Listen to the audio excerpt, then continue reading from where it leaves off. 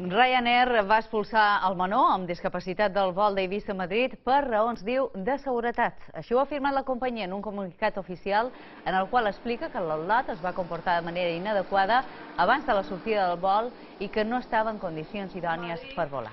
Així mateix, el comunicat afirma que s'han oferit alternatives a la família per a fer altres vols, però que aquest fet ha estat desmentit per part de la família afectada.